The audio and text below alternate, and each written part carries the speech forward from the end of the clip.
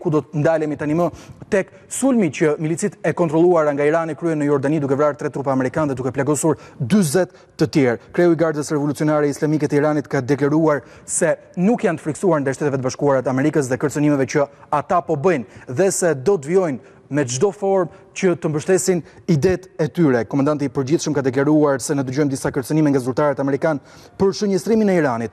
Ne ju themi se na keni testuar dhe ne njihemi. Nuk lëmë asnjë kërcënim pa përgjigje dhe nuk kërkojmë luftë, por nuk kemi frikë prej saj, ka deklaruar pikërisht kreu i gardës revolucionare islamike të Iranit.